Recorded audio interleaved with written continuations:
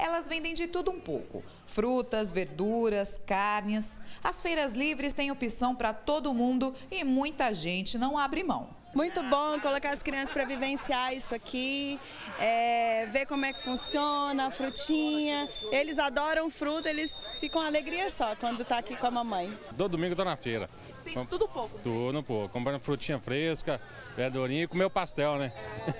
Passear com a família, comer e fazer economia. As feiras são conhecidas por terem alimentos frescos, com qualidade e com preços melhores. Mas será que depois da greve dos caminhoneiros tudo voltou ao normal? O, o frete aumentando, né, tudo foi repassado para os produtos e serviços também. Tudo, houve uma inflação aí com certeza aí eu calculo na ordem de uns 10%, pelo menos. O abastecimento está normalizado, mas os preços estão instáveis. O IPCA, que é o índice que mede a inflação oficial no país, acelerou a 1,26% em junho. Em maio, era de 0,4%.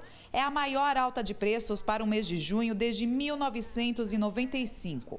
No acumulado de 12 meses, o índice ficou dentro da meta do governo, o que mostra o reflexo da greve. A oscilação nos preços também é por causa do clima. O chuchu, por exemplo, teve uma alta de 50% de uma semana para outra.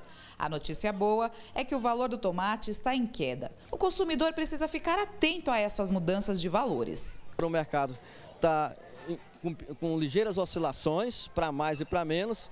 Algum destaque, por exemplo, essa semana da abobrinha, que reagiu, o chuchu, o pimentão, o quiabo. Esses produtos tiveram uma reação para essa semana, né? mas não tão elevado que não que venha afastar o, o, consumidor. A tática é mesmo pesquisar. Uma manga para outra pode variar bastante, então você tem que buscar o preço melhor.